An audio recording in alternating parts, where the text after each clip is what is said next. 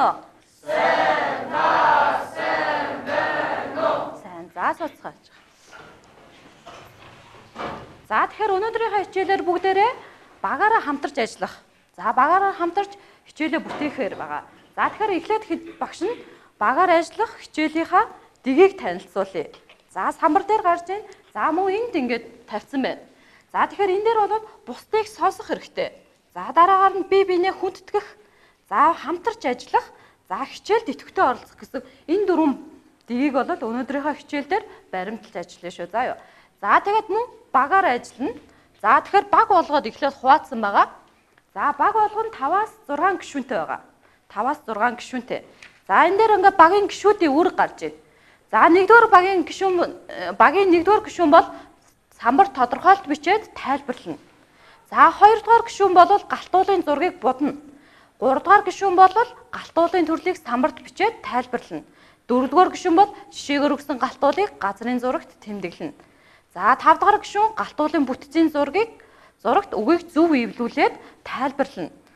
За зарим баг 6 дугаар гишүүн байхгүй учраас 5 дугаар гишүүн 6 дугаар гишүүний үргийг давхар гүйцэтгэнэ. За энэ бол тухайн багийнхаа нэрийг олж бичнэ. За харин 6 дугаар гишүүн бол нэрийг олох хэрэгтэй байгаа. За энэ дараалалаар яг бүгд идэвхтэй оролцсон шүү. За энэ юуны зургнууд вэ? Энэ юу вэ? За энэ яасан бэ? За энд бас юу үүссэн бэ? Цууралт үүссэн байна тий. За тэгвэл энэ юуны зураг вэ? За энэ юу вэ? За тэгвэл эндээс эндогийн хүчин зүйл болон эгзогийн хүчин зүйл нь аль нь вэ? За нэгдүгээр зураг юу вэ? За эгзогийн үү, эндогийн үү? За эндогийн эгзогийн гэдэг нь гадаад дотоод тий. За энэ ямар зураг вэ? За гадаад хүчин зүйл те. Хоёрдугаар багаас зөв хариуллаа. За энэ бол дотоод хүчин зүйлийн нөлөөгөөр. За энэ За энэ За гадаад. За энэ хоёр гадаад, энэ хоёр дотоод хүчин зүйлийн үйл ажиллагаа байх юм те. За тэгвэл өнөөдрийн хичээлээр бид нар ер нь юуны талаар үзэх юм болоо? За тэгэхээр галтуулын макетууд байгаа учраас те галтуулын талаар. За энд болохоор галтуулын загварууд энд харагдаж байна. Галтуулын загвар буюу макетууд харагдаж байна. За тэгвэл өнөөдөр бид нар эндогийн хүчин зүйл буюу галтуулын талаар. За өнөөдрийнхээ сар өдрийг тавиад за гарчгаа тавьчих.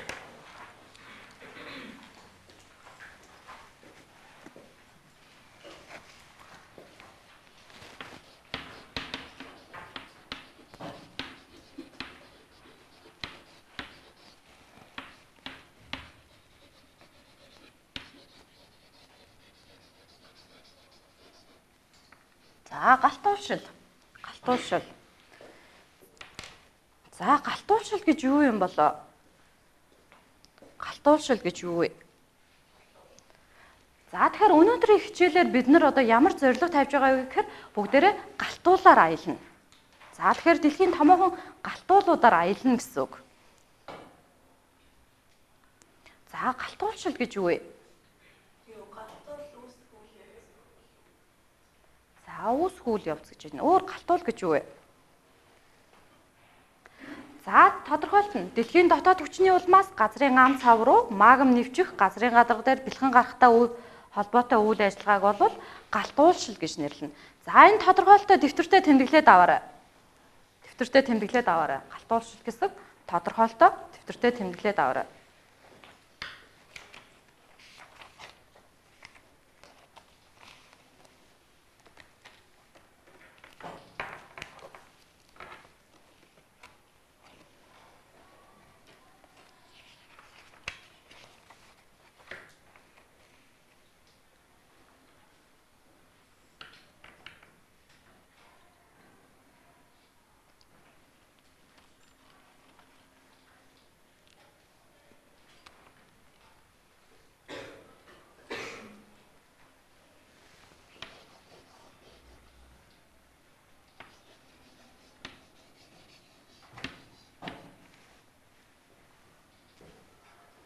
За тодорхойлолтоо бичсэн үү? За тодорхойлолтоо бичсэн. За тэгвэл өнөөдөр хэдүүлээ багаар ажиллах хичээл байгаа. За багш нь баг болгон дээр хавцанд багийн ажиллах даалгавруудыг хийгээд тавьсан байгаа ширээн дээр. За тэгэхээр хавцнаасаа багийн гişүүдийн даалгавруудаа гаргана. За энэ дээр бас нэг зүйл анхааруулна. За тэгэхээр үнэлгээ маань яаж явагдах вэ гэхээр хойно одоо багуудын үнэлгээг тус бүрдэн баг болгон дээр наацсан байгаа. За тэгэхээр нэг энэ зургийг сөхөхөд за энэ нь бол нэг оноотой тэнцүү. Нэг оноотой тэнцүү байна гэсэн үг. За нэг зураг сөхөгдөхөд нэг оноотой тэнцүү. За түрүү 2 дугаар багаас зөв хариулсан учраас 2 дугаар багийнхан сэлжүүдээр нэг зургийг сөхөөрөх боломжийг олгосон. За 2 дугаар багийнхаа нэг зургийг сөхөөрөө За тэгэхээр нэг энэ бол нэг зураг, нэг оноо гэсэн үг. Нэг зураг сөхөх, нэг оноо. За хэдүүлээ тэгвэл За тэгээд галтуулъя. За бүтцийг энд харуулсан макет дээр. За түр анхаарлаа хандуул.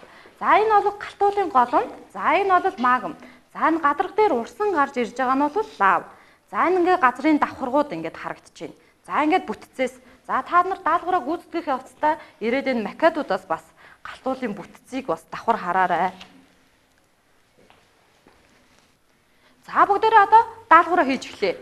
За 10-аас 15 минутанд багтаагаад за тэгэхээр хуудсан дотор бүх гişүүдийн даалгаврууд байгаа. За тэгэхээр гişүүд болгон дугаартай байгаа тий. Дугаарын дагуу өөр өөрсдийнхөө гүйцэтгэх даалгавруудыг за маш хурдан хийн. За төрүүлж гүйцэтгэх юм бол нэг оноог авах юм байгаа. Хугацаанаас өмнө буюу төрүүлж гүйцэтгэх юм бол багууд нэг оноог нэмж авна. Нэмж авах юм байна.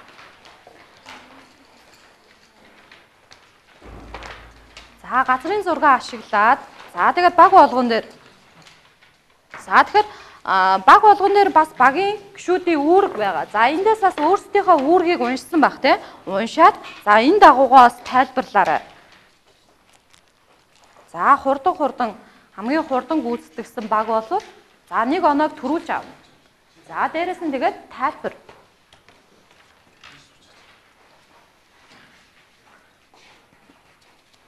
За танах за даалгаврынхаа хуудаснуудыг гаргацсан уу те? За.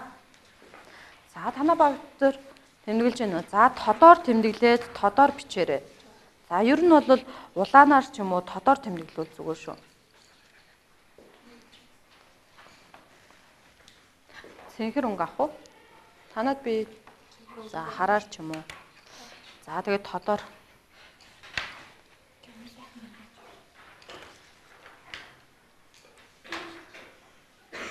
За асууч тодруулах зүйлээ багшаасаа асуугаарай.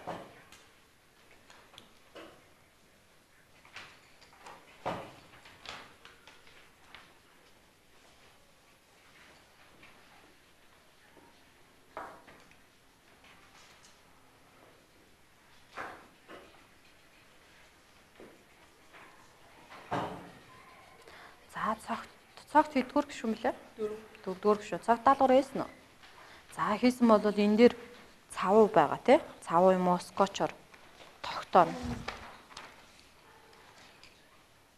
За дээр нь нэрийн томоор биччих. За тэр хэсгээ тодруулаад за томоор дээр нь нэрийг бас биччих. Бус багийнхандаа харагдахаар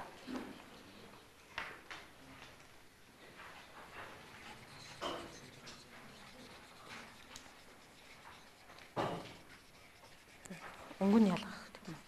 Өөр өнгөөр бодох бас ялгархгүй шүү. Энэ өнгө ч энэ өнгөнүүд чи хоорондоо ялгархгүй шүү. Өөр шаргалаар ч юм уу. За тэг. Тод өнгөөр нь бодвол өөр өөр өнгөөр ботчих. Тэгвэл бол ялгархгүй. Хүчиг чинь За сурах хүчгээ бас давхар ашиглаараа хөвгтүүдээ.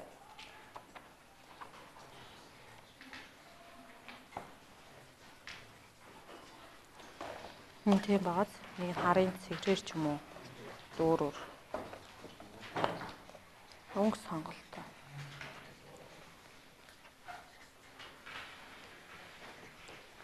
За, бэлгүүтээ юун дээрээс хааж байгаа лээ?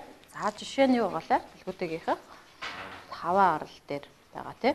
За, тэгэхээр энэ бол хаваа аралчин өөрөө За, Америк нэгдсэн улсын харийн арал. За, тэгэхээр энэ Австрал байна. За, энэ газрын зураг. Тэгэхээр энэ бол нөгөө хаваа арал байх нь тий. Хаваа арал дээр оршдог уул. Тэгэхээр энийг тодоор тод улаанаар ч юм уу тэмдэглээд нэрийг бичнэ гэсэн үг. Тэгэхээр энэ дээр бол байгаа. За энэ дээр бол газрын зураг дээр бол энэ хэсэгт тэмдэглэгдсэн байгаа хаваа арлууд бол а энэ газрын зураг дээр бол энэ дээр тэмдэглэгдсэн байна тийм.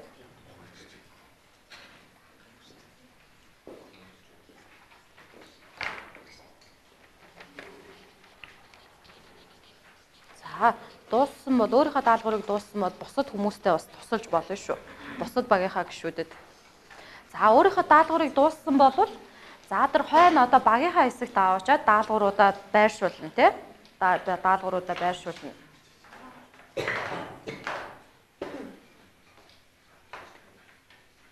За өөрөө дууссан бол бусад багийнхаа гишүүд бас хамтраа тусалж болно шүү. За тэгээд өөрийнхөө даалгаврыг дууссан бол хойно одоо багийнхаа хэсэгт аваачаад байршуулна.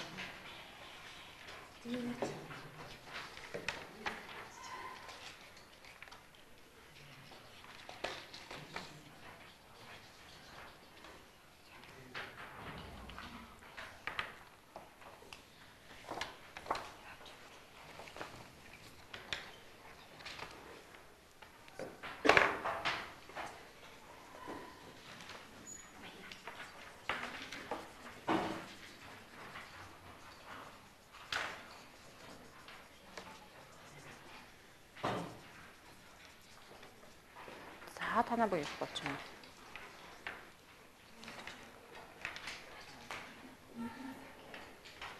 За сурах хүчгээ ашиглаад за сурах хүчгэнээр энэ зургууд бол байгаа тий сурах хүчгээ бас ашиглаад за зургуудаа хараад за хоёрдугаар багийнхан даалгавруудаа ерөөхдөө хийгээд дууссан байна тий хоёрдугаар багийнхан даалгавруудаа хийгээд дууссан байна.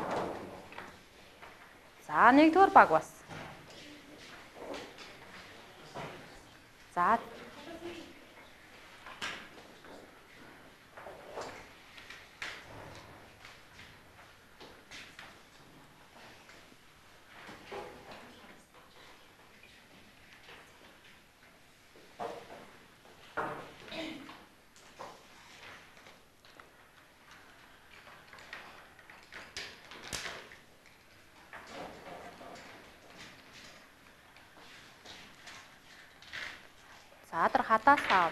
өнөөдөө тогтоогоор.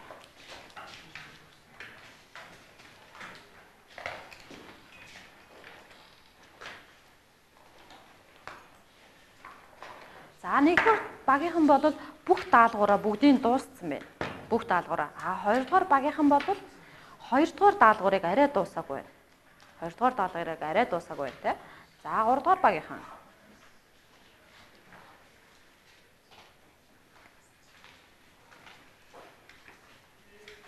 За одоо 3 минутын хугацаа бол байна.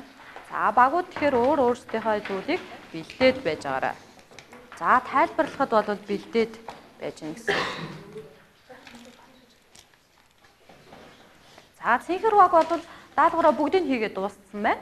За тэгэхээр цэнхэр багийнхын макетыг ирээд сонирхчээж болно. За өөрсдийнхөө ярих зүйлийг бас бэлдээд байж байж болно. За хадаас нь удаа өгөрөө. За 2 дугаар багийнхан даалгавраа дууслаа. За 3 дугаар багийнхан бас.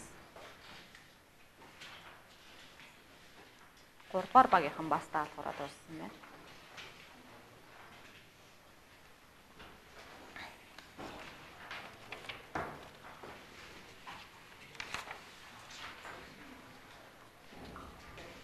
За өөрсдийнхөө хийсэн даалгаврыг бүгдийг самбартаа үлгэе.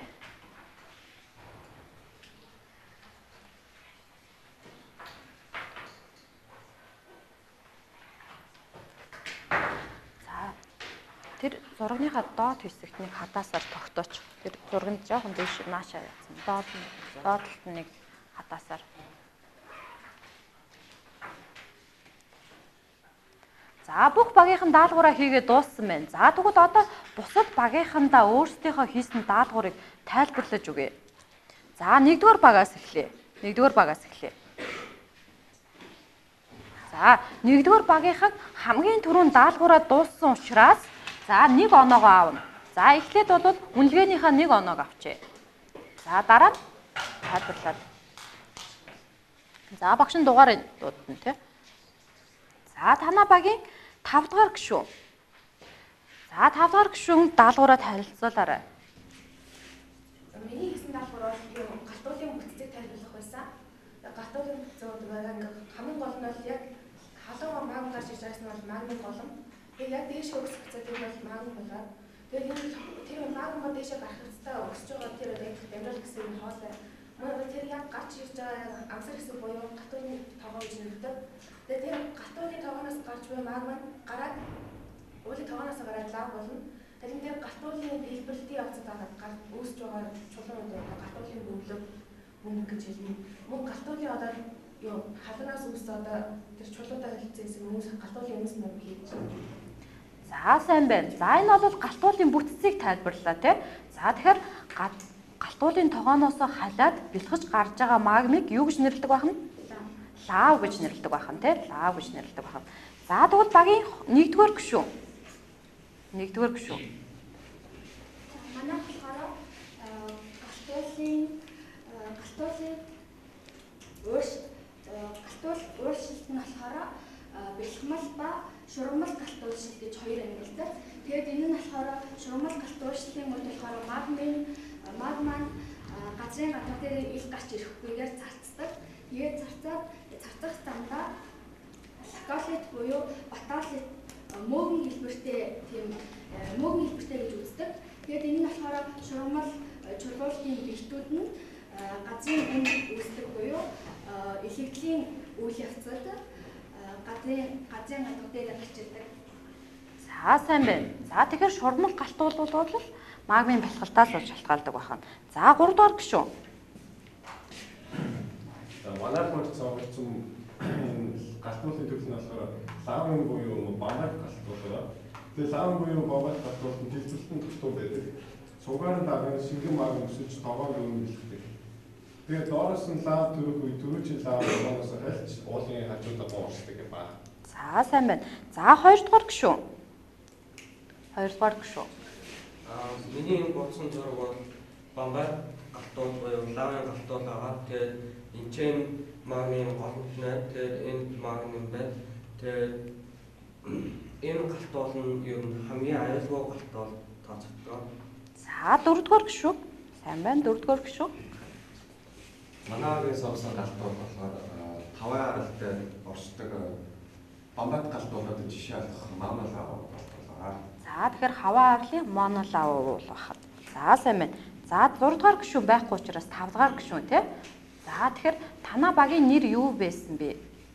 Энэ бол бидний хийсэн даалгавар бол нөгөө бамбайт буюу лавын гартуулын талаарх байсан учраас манай багийн юу нэр нь бол лавын гартуул За лавын галтуул гэсэн нэртэй байгаа. За бүгдд нь баярлалаа. За нэгдүгээр. За хоёрдугаар багийн гишүүд.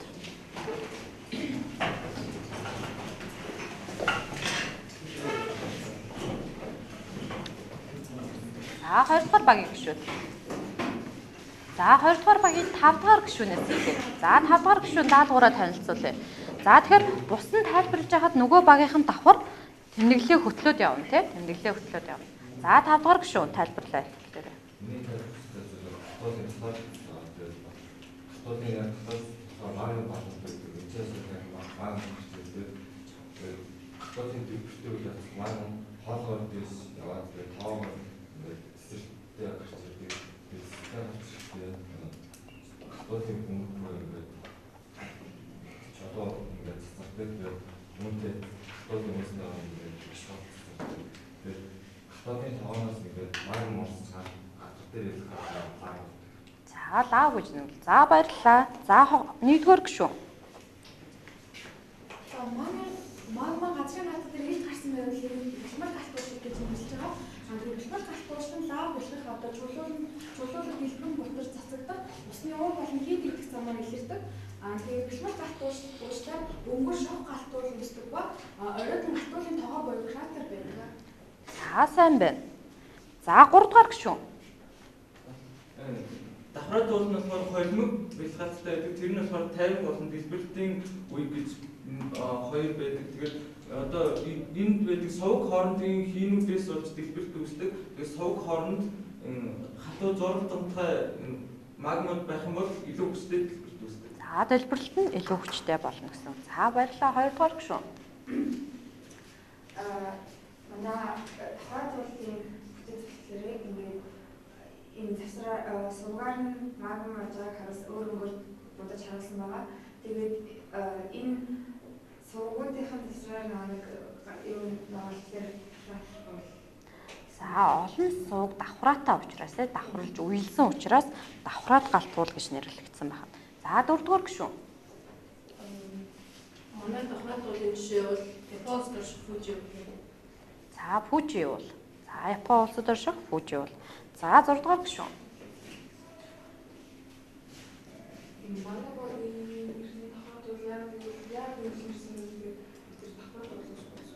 За давхраад уулын талаар судалсан учраас танаа багийн нэр бол давхраад уул байна тийм. За баярлалаа. За баярлалаа. За 3 дугаар багийн гишүүдийг.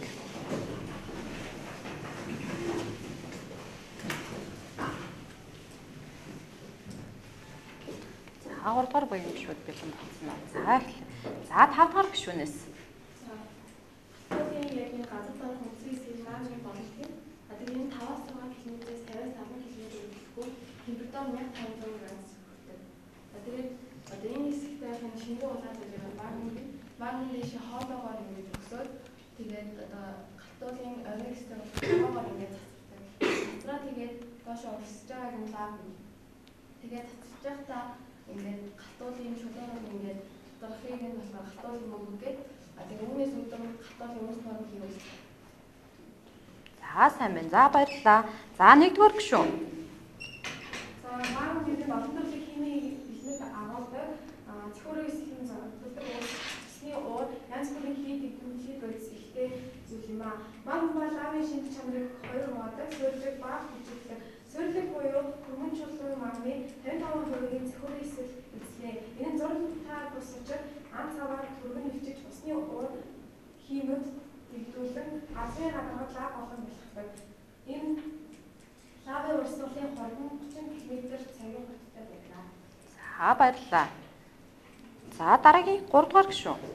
За өнгөр маягийн галтуулын зуралтын магмаас үүсдэг. Ийм магн галтуулын өрх рүү аажхан хөрж ил гарахтаа зарцдаг. Аа, Энэ нь тоогоор дөрвөж өнгөр маягийн галтуул үүсдэг. За тэгэхээр бөмбөр маягийн галтуулыг үүсгдэг бахан. За галтуулын төрөлтэй. За 2 дугаар гишүүн.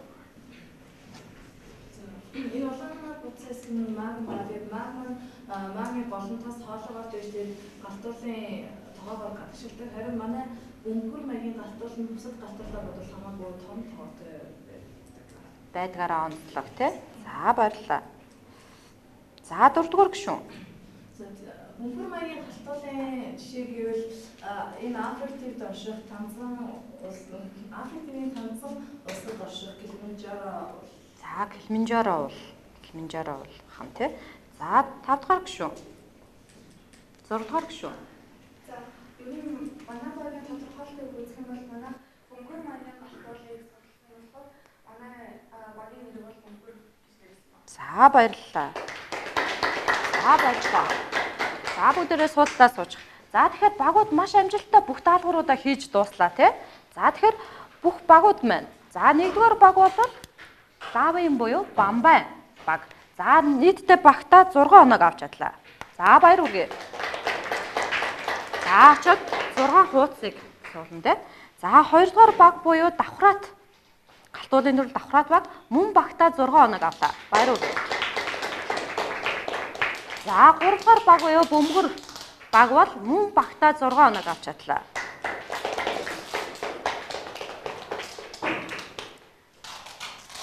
За бүгдээрээ нэгдүгээр даалгавруудаа бүгд амжилттай хийж дуусглаа тий. За тэгэхээр үнэлгээнийхээ хуудснуудаас за 6-аг авчих 6 оног. За дараагийн даалгавар. За дараагийн даалгавар бол газрын зурагт галтуулыг тэмдэглэх. За галтуулын байршлыг. За тэгэхээр ширээ болгон дээр юм том аагур хэмжээтэй зураг өгөгдсөн байгаа. За тэгэхээр галтуулын байршлууд ерөнхийдөө хаана байдаг вүлээ?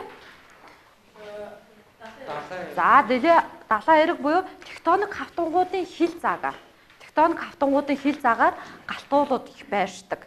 Байршдаг. За энийг одоо бүгдээрээ газрын зурагт тэмдэглэе. За сурах хүчгэн дээр чинь бас зураг байгаа. Сурах хүчгээс ашиглаж болно. За 3 минутын хугацаа.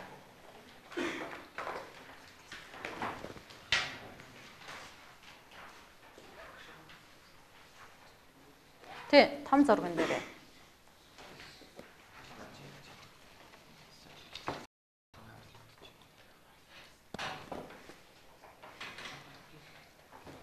За, тод өнгөөр тэмдэглээрэй. За тэгэхээр тайлбарууд гэсэн хэсэг дээрээ бас галтуулынхаа байршлуудыг бас тэмдэглээд яваарай. Галтуулынхаа байршлуудыг. За багаараа хамтраад тэмдэглээд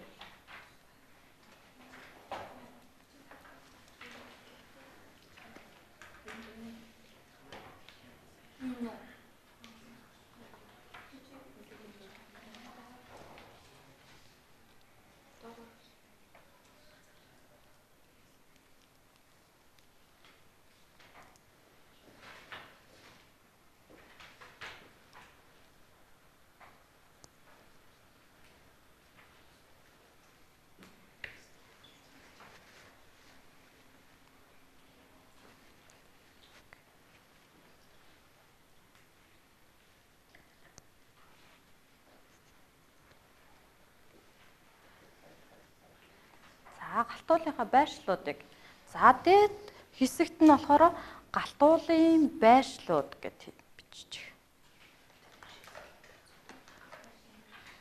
За тэгээд тайлбарлахдаа ерөнхий зургаас бол хэлчихнэ гэсэн үг тийм.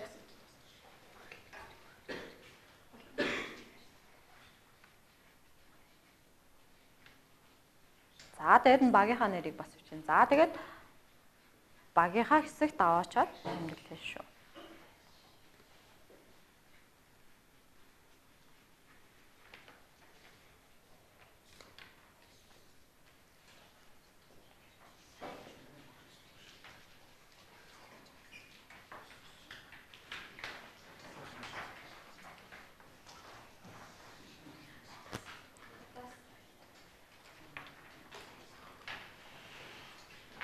За хадаасаа.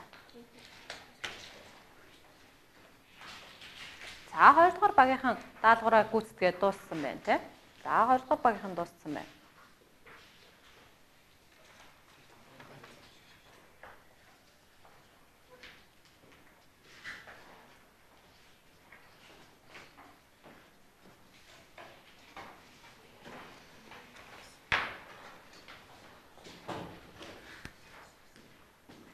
За нэгдүгээр багийнхан дууссан байна.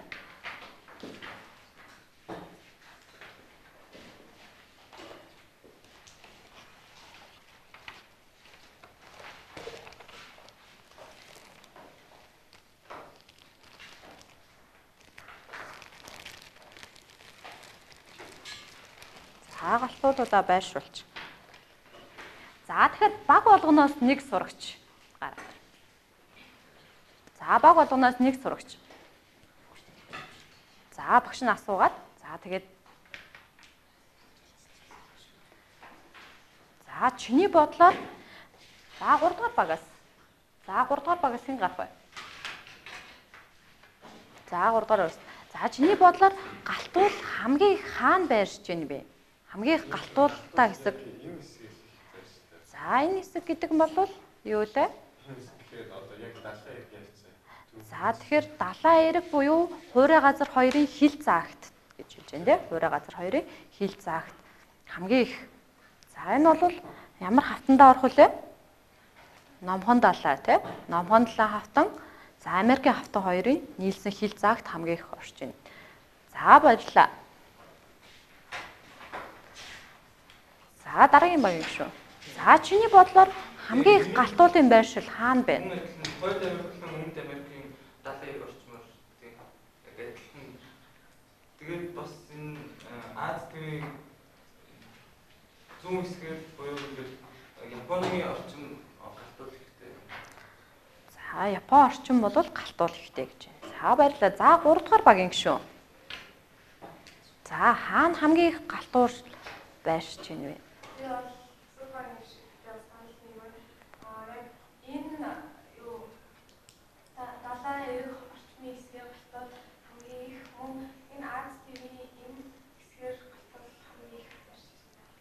За за багийнхандаа бүгдээрээ баярлалаа. За тэгэхээр багийн гişүүд бүгдээрээ багтаа нэг нэг оноог авч чадлаа. За нэг нэг оноог авчээ. Нэг нэг оноог авч чадлаа.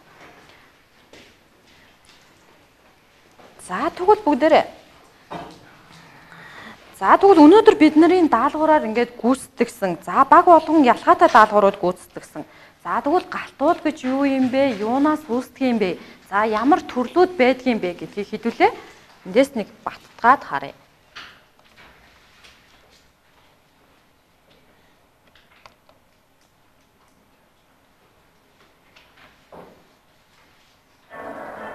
За анхааралтай хараарай. Volcanoes are our most explosive landforms. Able to eject molten rock and clouds of thick ash high into the atmosphere with devastating consequences.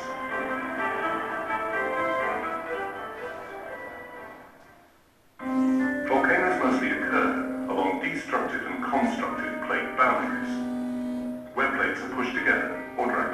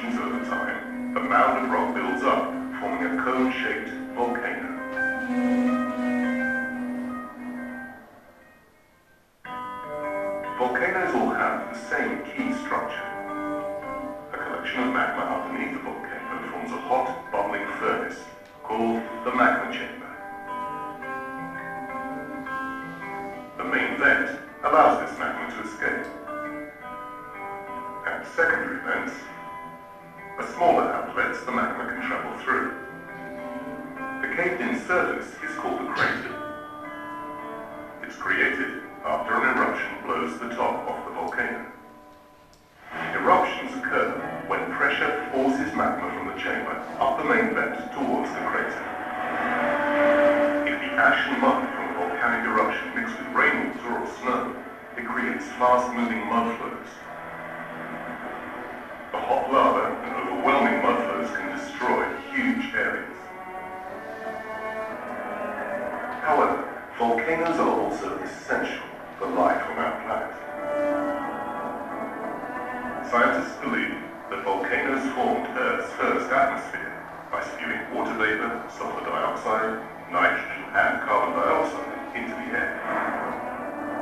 And volcanic eruptions continue to contribute to the carbon cycle, crucial to releasing carbon dioxide. They can go through long periods of being very active, but they may also become dormant, not erupting for hundreds or thousands of years. And eventually, they can become extinct. За тэгэхээр бидний үтсэн хичээл болвол ерөнхийдөө бид нар ийм хичээлийг үтсэн байна. Галтуул гэж юу вэ? За ямар бүтцтэй байдаг юм бэ? Хаанаас маган буюу лав нь гарч ирдэг юм бэ гэдэг талаар үтсэн байх нь. За, за тэгвэл багш нэг асуулт асууя. Галтуулшил гэж юу вэ? Галтуулшил гэж юу вэ? За. За гараа үргээ. За буян дэлгэр. За босч жогод. Хэд төр хүчний улмаас газрын ан салгуу маган хүчит газрын газар дээр бяцхан гарах үйлдэлтэй бол үйлдэлийг гадууршил гэнэ. За галтуулшил гин. За тэгвэл өнөөдрийн бидний хичээлээр үтсэн галтуулшил болвол за нэгийг хэлдэг бахна. За багтаа нэг оноо авч чадлаа. За багтаа нэг оноо авч чадлаа баяр үргээ. За тэгвэл 2 дугаар багийн бүх үнэлгээ бол дууссан бахан тий. За тэгвэл 2 дугаар багийн уул маань ямар уул вэ? За фүүжи уулын зураг бахан тий. Фүүжи уулын зураг бахан. За 1 дугаар баг. За 1 дугаар баг бол за 1 оноо дутуу байна тий. За 3 дугаар баг бол 2 оноо дутуу байна. За 1 дугаар баг бол ямар уул юм шиг байна? За монола уул тий. Монола уул. За 3 дугаар баг бол ямар уул вэ? За Килиманжаро уул руу. За тэгвэл хэдүүлээ анх бол за бүгдээрээ галтуулаар аялцгаая гэсэн тий? Аялцгаа гэсэн. За тэгвэл 2 дугаар багийнхан за Фүжи уул руу 2 дугаар багийнхан бүх гişүүдээ аваад Фүжи уул руу юугаар явах нь вэ? Онгоцоор явах нь шүү дээ. Бүгдээрээ 2 дугаар багийнхан бол багийн гişүүдээ аваад багийн гişүүдээ аваад за онгоцоор бол Фүжи уул руу явах нь. За баярлалаа. За харин 1 дугаар багийнхан За багийн гişүүдтэйгээ зүг хаваа арлын монола уул руу усан онгоцоор багийн гişүүдтэйгээ цуг аялах нь. Усан онгоцоор аялах нь. Усан онгоцоор аялах нь. За 3 дугаар багийн гişүүд бол За Килиманжаро руу тий Килиманжаро бол Африк төв байршдаг уул. За тэгвэл тэр уул руу маш удаан маш хол аялал болох нь тий За энэ уул руу бол багийн гişүүдтэйгээ хамт галт тэргээр аялах нэ. Галт тэргээр аялах. Галт тэргээр аялах. Галт тэргээр аялах. За тэгэхээр өнөөдрийн хичээлээр бол бид нар за галтуулын ерөнхий бүтцийн талаар, за төрлүүдийн талаар, за яаж урсдаг талаар, хаана байршдаг талаар энэ бүх зүйлийн зүйлүүдийн талаар үзлээ. За тэгэхээр ингээд нэгдүгээр багийнхан маань за хаваа арал руу Монола уул руу хаваа арлуу, бүлэг арлууд, хаваа арлууд бол бүгд тэр чигээр галтуултаа арлууд байгаа шүү дээ. За тэр арал руу бол онгоцоор аялах нь байна. За нэг нэгдүгээр багийнхан бол а Фүжи уул руу бол онгоцоор аялах нь байна. За нэгдүгээр багийнхан бол за хаваа руу бол усан онгоцоор, гуравдугаар багийнхан бол галт тэргээр аялах нь байна. За өнөөдрийн хичээлд идэвхтэй оролцсон хүмүүстээ баярлалаа. За гэрийн даалгавар. За гэрийн даалгавар та нар юу хийж өрөх вэ гэхээр За тэгэхээр төрөл тус бүрийн зургийг та нар дэвтэртээ зурж ирнэ. За ламын буюу бамбайд, за давхраад, бөмбөр гэд галтуулуудын зургуудыг дэвтэртээ зурж ирээрэй. За даалгавраа тэмдэглээд авчих. Даалгавраа тэмдэглээд авчих. За тэгэхээр галтуулын төрөл тус бүрийг дэвтэртээ зургалж ирээрэй. Галтуулын төрөл тус бүрийг дэвтэртээ зургалж ирээрэй.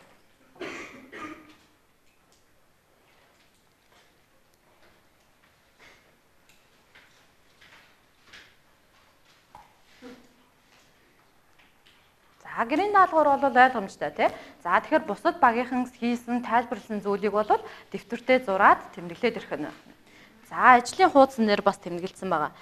За тэг хичээл тэтгэвтэй оролцсон хүмүүстүүдэд баярлалаа.